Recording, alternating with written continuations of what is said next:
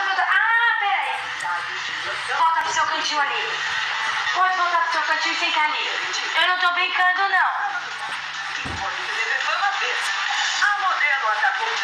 Eu não tô brincando. Eu não tô brincando com você. Pode sentar aí no seu cantinho. Rian. Rian. Rian. Senta no seu cantinho.